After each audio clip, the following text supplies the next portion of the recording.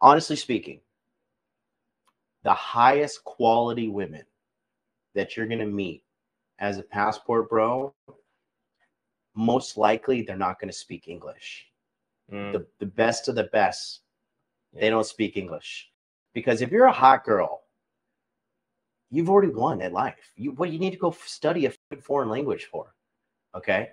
Um, and also I have a theory that the English language corrupts these girls because once they start listening to English or learning English, then mhm. they start watching like Netflix from Yeah. America and they start watching all this like toxic media that comes from the United States. And they start thinking like, you know, they like, oh, well, I want to be part of this culture. I want to like, you know, be accepted by these people. Just like fucking anime nerds, like fucking study shit. And they're like, I just want to be fucking, you know, Japanese, Japan, yeah. right? they start getting corrupted by the English language. The best girls and the hottest girls, because dude, it's it's. I speak three languages. It is hard to learn another language. It is extremely hard. Takes a lot of effort. And a girl who is hot, I mean, dude, hot girls like, why would she go study another language when she could get whatever she want based upon the number one resource in the world, which is female beauty? Yeah, especially in countries where there's like not a lot of economic pressure to learn a language. So like a place like Japan, uh, they're pretty an affluent country. They're self-sustained. Yeah, like like like learning English isn't gonna be a big bene- benefit to them. Mm. So when you meet girls that might speak English or like are knowledgeable of the of the Western stuff, it's actually like a red flag.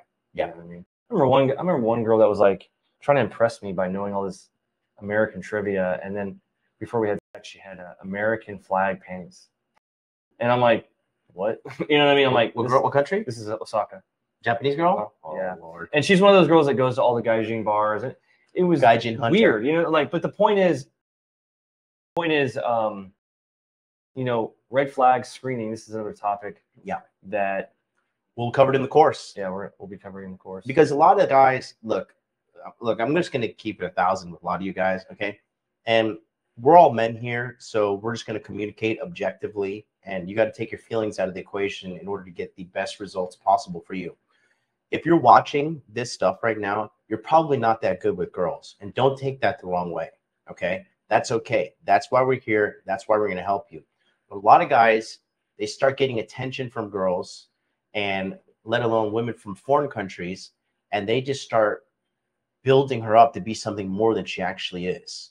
And they're just thinking like, oh, this girl's so feminine, she's so this and she's that. And the reality is this guy's known her for like two weeks. Like you really don't know somebody, especially a woman, until you've dated her for like 18 months. Mhm. Okay. Because everybody can fake and put on, you know, a fiasco for a year. But eventually, if there is a mask, the mask starts to slip here and there. yeah, uh, another big test is whenever you have your first real dispute. Yeah. Or real fight. Yeah. Because you get to see like how they are in that. You know, dispute management is a big thing with relationships. Like Mhm. how a girl handles disagreements. Yeah. I mean, because if if if if her dispute skills or just you know her disagreement skills or dispute management skills are really poor, and you have a relationship with her for long term, I mean that's like Yikes.com. big, yeah.